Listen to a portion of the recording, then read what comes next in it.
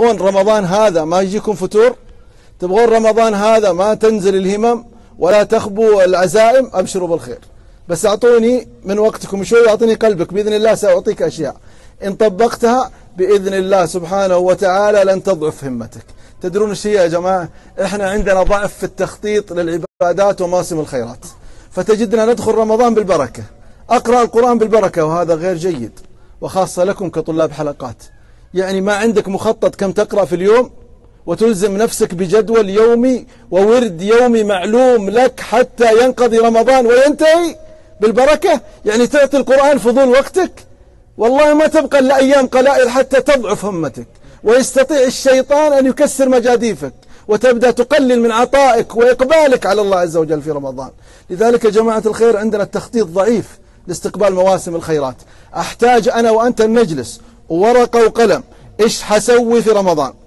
إيش حقدم في رمضان؟ كم حأقرأ قرآن في رمضان؟ كل يوم كم هو وردي اليومي إذا بتقول لي بختم القرآن في رمضان ثلاث مرات يعني تختم القرآن كل عشر أيام. تقرأ كل يوم ثلاثة أجزاء. إذا تقول لي سأختم كل ستة أيام أقول لك أنت تحتاج كل يوم تقرأ خمسة أجزاء. لكن إحنا عندنا لازم زيادة ليش؟ لأن اليوم طويل اليوم طويل في رمضان نحتاج نختم القرآن كل ثلاثة أيام والله نقدر تدري كم؟ عشر أجزاء يوميا لو قرأت جزء قبل الصلاة وجزء بعد الصلاة كم صلوات؟ خمس خمس صلوات تستطيع ولا ما تستطيع؟ والله العصرية الحالة العصرية ثلاث ساعات في رمضان أننا نستطيع أن نقرأ كل يوم عشر أجزاء. إذا أنا خططت أني سأقرأ في وردي من القرآن كل يوم عشر أجزاء والله ما تعاني من الضعف ولا من الفتور أبدا لأنك خططت لهذا وستسعى لإنجاز ما خططت له. طيب متى حتأخذ عمرة في رمضان؟ بالبركة؟ هذا خطأ يا جماعة. لابد نخطط. في اليوم الفلاني سأذهب إلى أداء مناسك العمرة إلا أن يصرفني صارف. كم ستفعل الخير ويعني تتصدق وتنفق وتقدم وتبذل في رمضان. خطط لهذا. الإمام أحمد يقول لابنه يا بني. إمام أهل السنة والجماعة. أحمد بن حنبل يقول يا بني وصية أب لولده. قال يا بني إنوي الخير ما بقيت. يعني قدم نية الخير وإن لم تفعل الخير. قدم نية الخير. حديث عمر رضي الله عنه في الصحيحين. قال إنما الأعمال بالنيات وإنما لكل امرئ إيش قدمت نيات لرمضان؟ ما هو المخطط من النيات اللي قدمتها لرمضان؟ هل أنت عندك في أول ليلة من رمضان سأفتح جوالي ولن أترك قريبا من أقاربي إلا وباركت له بشهر رمضان؟ ترى سنة. النبي صلى الله عليه وسلم إذا دخل رمضان أقبل على أصحابه وبشرهم برمضان. قال أتاكم رمضان. جاءكم رمضان. شهر فيه تفتح يبشرهم صلى الله عليه وسلم بقدوم رمضان. شهر فيه تفتح أبواب الجنان وتغلق أبواب النيران وتصفط مردة الشياطين. وينادي مناد من السماء يا باغي الخير أقبل ويا باغي الشر إيش؟ أقصر. لذلك يا جماعة الخير تقرب إلى الله بأن تصل أرحامك خالاتك عماتك شقيقاتك أخوانك أخواتك أبناء عمومتك أن تكلمهم ليلة رمضان وتبارك لهم بهذا الشهر ولو برسالة صغيرة بسيطة وأن تستحضر نية أنها صلة رحم والله أنك تؤجر عليها. هذه من النيات. النية أن تختم القرآن بورد يومي لا تمل لا تكل لا تضعف من أجل أن تخطط لهذا العمل فتنجزه. الثالث العمرة في رمضان. الرابع الأعمال الخيرية من صدقة من سلات غذائية من أمر من مسح رأس اليتيم من لو إفطار صائم في محطات يقول سعيد بن المسيب إذا نوى العبد لعمل الخير ولم يفعل أجر عليه لكن حسنة واحدة. ما تضاعف إلى عشر حسنات إلى سبعمائة ضعف إلى أضعاف كثيرة. فلذلك إنو الخير فإن لم تفعل فأنت تؤجر عليه.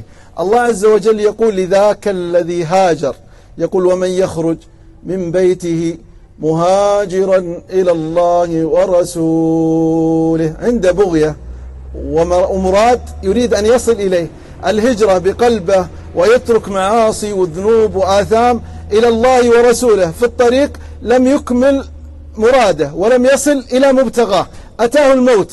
ماذا يحصل له؟ قال الله فقد وقع أجره على الله. أتم. الله عز وجل له الأجر. لذلك أبشر بالخير. أنت نويت العمل الصالح يعطيك الله عز وجل العمل الصالح. النبي صلى الله عليه وسلم يقول في الحديث الحسن قال إنما الدنيا لأربعة نفر. تأملوا معي يا أخواني بالنية. انوي الخير ما بقيت. وصحح نيتك وعالج نيتك. ترى علماء الأمة الأخيار عبد الله بن المبارك الفضيل بن عياض سعيد بن المسيب وغيرهم من أعلام الأمة الأخيار الإمام أحمد بن حنبل يقول ما عالجت علي أشد من نيتي. إنها لتتفلت مني تفلتا. يقول الإمام أحمد إني لا أروي حديث النبي صلى الله عليه وسلم بثلاث نوايا. نية في أول الحديث ونية في وسطه ونية في آخره. إذا كان هذا الإمام أحمد بن حنبل فكيف أحوالنا إحنا يا جماعة الخير؟ إذا كان هذا إمام أهل السنة والجماعة إذا كان هذا الذي يحفظ في صدره ألف ألف حديث بأسانيده وطرقه إلى النبي صلى الله عليه وسلم وهذا حالة مع النية فكيف إحنا؟ إذا نحتاج النية دائما إلى مجاهدة تحتاج إلى دعاء اللهم أصلح نيتي تحتاج إلى وقفة قبل العمل ووقفة أثناء العمل ووقفة بعد العمل. هل لا زالت النية لله عز وجل ومرادها ما عند الله عز وجل ووجه الله؟ إذا كان هذا فأبشر فأبشر بالخير. النبي صلى الله عليه وسلم يقول إنما الدنيا لأربعة نفر. قال الأول رجل آتاه الله مالا وعلما فهو ينفق ماله وفق علمه في الصالحات والطاعات والقرب من الله عز وجل. هذا الأول. الثاني آتاه الله علما ولم يؤته مالا فيتمنى أن له مثل مال الأول بالنية فقط. يا رب لو عندي مثل مال الأول أنفقت في بناء المساجد أنفقت في كفالة الأيتام أنفقت في الصدقات والقربات من الله عز وجل. والله لو عندي هذا الخير لأنفقه. قال فهما في الأجر سواء. بيش بالنية. قال فهما في الأجر سواء. الثالث قال رجل آتاه الله مالا ولم يؤته علما. وما أكثرهم هذه الأيام. قال رجل آتاه الله مالا ولم يؤته علما. فهو ينفقه في السيئات والمعاصي والذنوب والغفلة والبعد عن الله عز وجل والشهوات. قال هذا الثالث. قال والرابع لم يؤته الله مالا ولا علما.